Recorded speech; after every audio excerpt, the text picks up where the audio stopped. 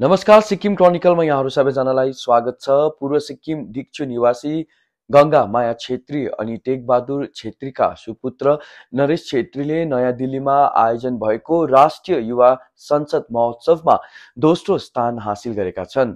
उनले भारतीय संसदमा सिक्किमको प्रतिनिधित्व गरेका छन्। भारतको जी ट्वेन्टी अध्यक्षता एक पृथ्वी एक परिवार एक भविष्य थिममाथि आधारित यस कार्यक्रममा नरेश छेत्रीले खुबै सुन्दर ढङ्गमा आफ्नो प्रस्तुति प्रस्तुत गरेका छन्।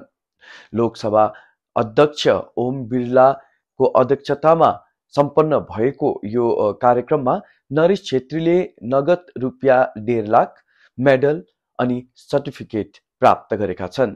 हेर्नुहोस् नरेश छेत्रीले प्रस्तुत गर्नुभएको उहाँको प्रस्तुति। सिक्किम से श्री नरेश क्षेत्री आमंत्रित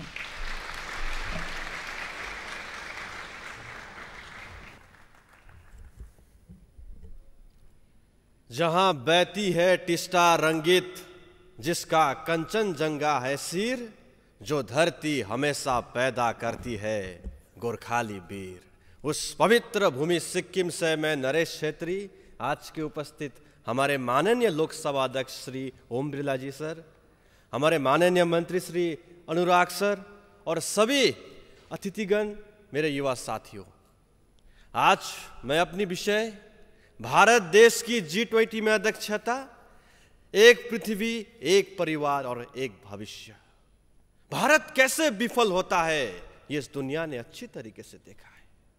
कोविड के समय में अंतर्राष्ट्रीय मीडिया ने इस देश में सिर्फ़ जलती हुई लाशों को पूरी दुनिया को दिखाया है। आज भी ये दुनिया भारत देश को सिर्फ़ एक सपेरा का देश समझती है। लेकिन जैसे कि डॉक्टर एपीजे अब्दुल कलाम ने कहा है स्ट्रेंथ रेस्पेक्ट स्ट्रेंथ शक्ति ही शक्ति को इज़्ज़त करती है और आज हमें अपनी शक्ति दिखाने का अवसर प्राप्त हुआ है। यह शक्ति किसी हथियार की शक्ति नहीं है।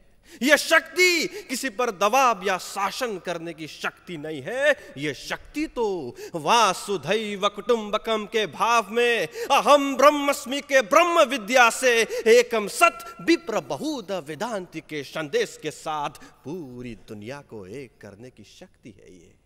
आज जब भारत जी ट्वेंटी का अध्यक्षता कर रहा है, माननीय प्रधानमंत्री श्री नरेंद्र मोदी जी के नेतृत्व में भारत देश ने ग्लोबल साउथ के ऐसे ऐसे देशों को निमंत्रणा दिया है, जो देश जी ट्वेंटी के सदस्य नहीं है। इससे हम ये समझ सकते हैं कि जो आज विश्व फ़र्स्ट वर्ल्ड और थर्ड वर्ल्ड में बढ़ चुका है, उसे वन वर्ल्ड बनाने का पहल भारत देश ने आज किया है। मेरे युवा साथियों आज पूरी दुनिया अंतर्राष्ट्रीय योग दिवस मनाता है। लेकिन योग को हम सिर्फ़ एक शारीरिक स्वास्थ्य के रूप में देखते हैं। लेकिन योग सिर्फ़ एक शारीरिक स्वास्थ्य में सीमित नहीं है। यह एक ऐसा आध्यात्मिक विज्ञान है जिसकी माध्यम से हम पूरी दुनिया से एक हो सकते हैं और जी ट्वेंटी के अध्यक्ष होने के नाते आज इस विज्ञान को भारत देश पूरी दुनिया को उपहार के रूप में दे सकता है। भागवत गीता का एक श्लोक पूरी दुनिया को एक कर सकता है, जहाँ कृष्ण कहते हैं सहयज्ञ प्रजा सृष्ट पुरोबाच प्रजापति अने न प्रशु विश्वधम एश वो श्रेष्ठ काम धूका मतलब ये पूरा संसारी एकता के भाव में निर्माण हुआ है और इस दुनिया का हर एक समस्या का समाधान हम एक होके कर सकते हैं, हम एक होके जलवायु परिवर्तन को रोक सकते हैं, हम एक होके आने वाले हर एक संकट को रोक सकते हैं। आज हमें अपनी छोटी बड़ी उपलब्धियों को दुनिया के सामने लाना होगा। आज हम हर एक क्षेत्र में तरक्की कर रहे हैं। आज हम हम ग्रीन एनर्जी में तरक्की कर रहे हैं। अभी माननीय मंत्री जी कह रहे थे यूपीआई के बारे में। जब उदयपुर में जी ट्वेंटी का पहला बैठक हुआ तब दुनिया भर से आए हुए हमारे अतिथियों ने यूपीआई का उपयोग करके ऑनलाइन ट्रांजैक्शन किया और उन्होंने समझा कि ये यूपीआई कितना आसान है और ये साधारण सा पहल हमारी यूपीआई को अंतर्राष्ट्रीय स्तर पर ले जा सकता है। आज दुनिया सस्टेनेबल डेवलपमेंट के बारे में बात करती है, लेकिन आज हम ऐसे स्तर पर पहुँच गए जहाँ से हम सस्टेन नहीं हो पाते तो आज हमें रीजेनरेटिव डेवलपमेंट की आवश्यक है, जिसका उदाहरण है इस देश का छोटा सा राज्य सिक्किम।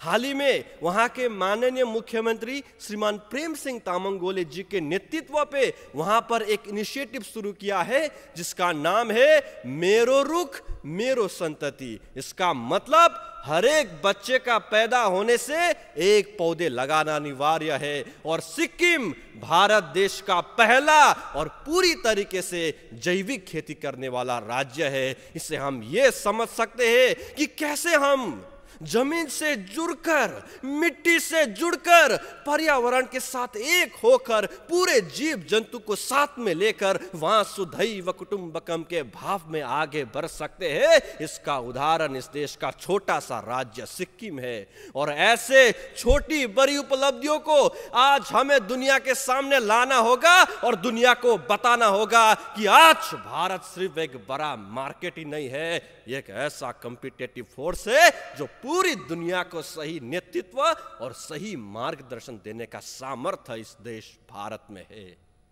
मेरे युवा साथियों, हम वासुधैव कुटुंबकम के भाव में पूरी दुनिया को एक परिवार मानते हैं, लेकिन इस परिवार में भी अगर कोई शकुनी बन के आगे आएगा तो उसको हम कृष्ण बन के समाप्त भी करेंगे, क्योंकि आज का भारत सिर्फ़ आदर्शवाद भारत नहीं है, आज का भारत यथार्थवाद भारत है। हम कभी शंकर बन के खुद विष पीकर दुनिया को अमृत प्रदान करेंगे तो कभी हम कृष्ण जैसे अटूट बनकर अस्तित्व की रक्षा भी करेंगे। तो मेरे युवा साथियों, हम सदियों से पूरी दुनिया को एक परिवार मानते आए हैं और इस बड़े परिवार को एक भविष्य की ओर ले जाने का आज हमें अवसर प्राप्त हुआ है तो आइए इस बड़े परिवार को एक भविष्य के ओर ले चले, आगे बढ़ चले जय हिंद, जय माँ भारती, जय सिक्किम धन्यवाद Get all the credible news on the go. Download the Sikkim Chronicle app.